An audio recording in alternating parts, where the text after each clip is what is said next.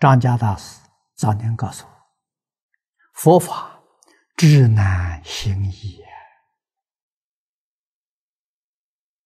行真的不难，知太难了。但是你不知，你的信心生不起来，你愿发不出来，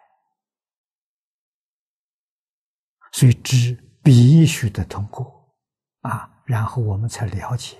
才体会到释迦牟尼佛讲经说法四十九年，为什么？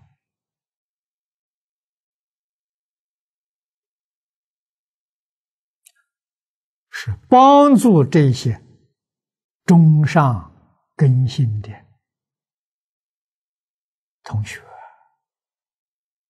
断疑生信，这目的在此地啊。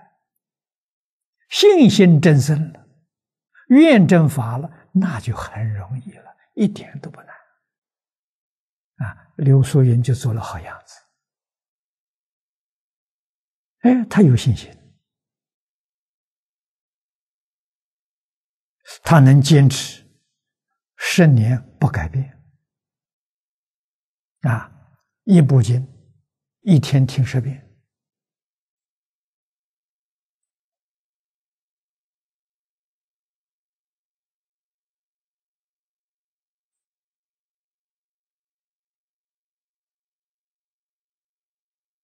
啊，这是现身说法了，给我们做出最好的榜样。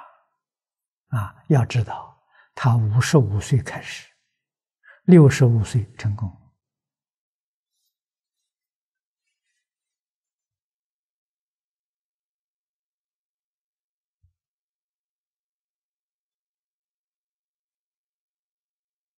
啊，那么我们。学院的同学应该差不多也都到这个年龄了，嗯，接近五十了，来得及。你要学刘素云的话，好好的十年在这个地方，你成就了，你才对得起这个道场，你才对得起十方的供养。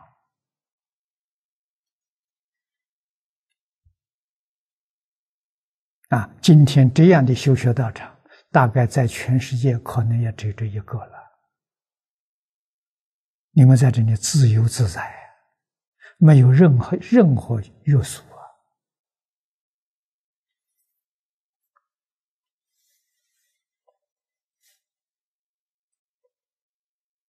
我们这个做法是学释迦牟尼佛的，但是释迦牟尼佛的弟子个个都是。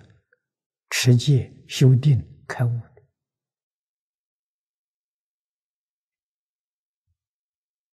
的啊！我们这同学还是烦心呢，还是自私自利，还是名闻利养啊！烦恼习气没放下了啊！那不成就，不成就，来生就是三途啊！往生极乐世界的。机会不大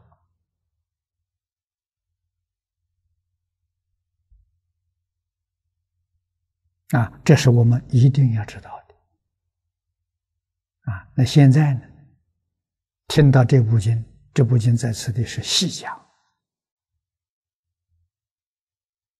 啊，已经超过六百多个小时了。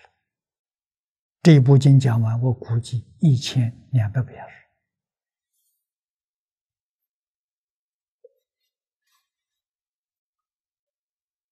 啊，我希望在这里多注意一些事情，因为这里我们每天可以讲四个小时。啊，今年年底或者明年春天，这个经就可以讲完了，这是一桩大事。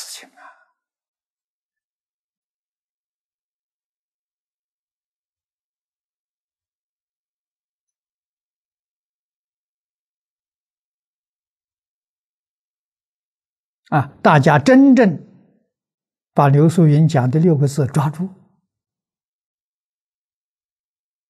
啊，听话不是听我的话，我的话你们不相信呢，你们要相信，嘛，早成功了。听佛在经典上讲的话，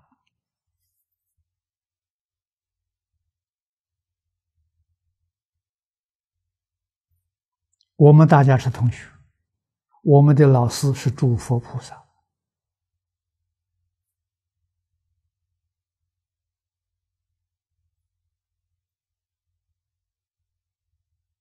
啊！你们真干，会真有成就。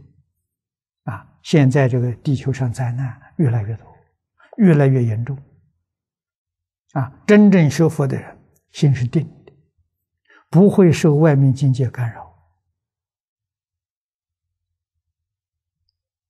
啊！你住在这个地方，这地方是福地。